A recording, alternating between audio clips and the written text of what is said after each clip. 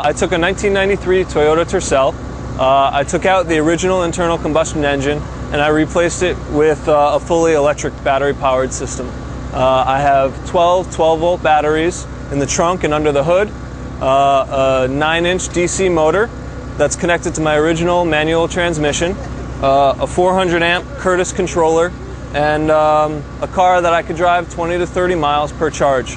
I have a 110 uh, outlet onboard charger, which recharges the batteries in six to eight hours, and uh, the car drives pretty much like it used to. The electric motor, on average, is between 70 and 90 percent efficient.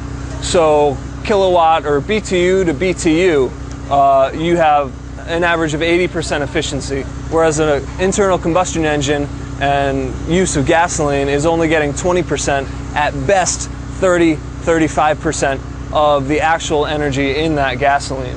Um, so, on a global and environmental basis, the electric car is uh, lifetimes more reliable, efficient, uh, economical, and environmentally friendly.